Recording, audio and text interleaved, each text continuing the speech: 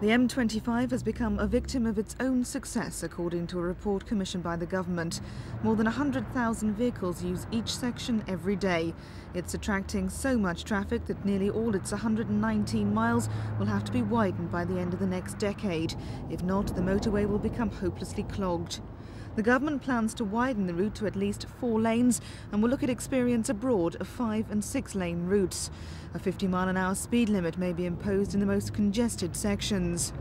Studies aimed at upgrading the road network inside and outside the M25 will be carried out and the motorway may also be lit along its whole length.